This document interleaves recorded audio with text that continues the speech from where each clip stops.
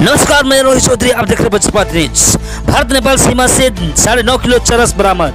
Bike की टंकी में खाना बनाकर नेपाल से भारत ला रहा था। एक तस्कर गिरफ़्तार। भारत नेपाल बॉर्डर पर तैनात एसएसबी सैतालीसवीं बटालियन के जवानों ने सीमावर्ती सिकटा थाना क्षेत्र के रेलवे गुमटी के पास से गुप्त सूचना के आधार पर की गई छापेमारी में साढ़े नौ किलो चरस के साथ एक सवार तस्कर को गिरफ़्तार किया। गिरफ़्तार तस्कर की पहचान नेपाल के परसा जिला अंतर्गत बुड़गाई थाना क्षेत्र के झलमहिया गाँव निवासी रामधारी शाह के 30 वर्ष पुत्र प्रेमी शाह उर्फ़ थारू के रूप में की गई है।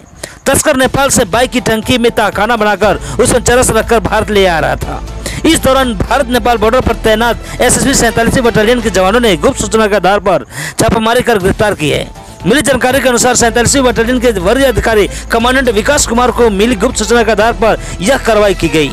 एक करोड़ नब्बे लाख का चरस बरामद। सिकटा एसएसबी कैंप के सहायक सेनानायक अचित बंगाल ने बताया कि एसएसबी को गुप्त सूचना मिली कि एक संदिग्ध व्यक्ति चरस की खेप बाइक से लेकर नेपाल से भारत जाने के फिराक में त्वरित कार्रवाई करते हुए सूचना जगह पर टीम गठित कर नाका लगाया गया। मौके पर तैनात एसएसबी नेपाल की तरफ़ से एक संदिग्ध व्यक्ति सिकटा रेलवे क्रॉसिंग गेट से आते दिखाई दिया। हालाँकि एसएसबी जवानों ने ललकार ललकारने पर रुक व्यक्ति बाइक छोड़कर भागने लगा। संदिग्ध व्यक्ति को भागते देख एसएसबी जवानों ने खदेड़ कर पकड़ा और तलाशी शुरू कर दी।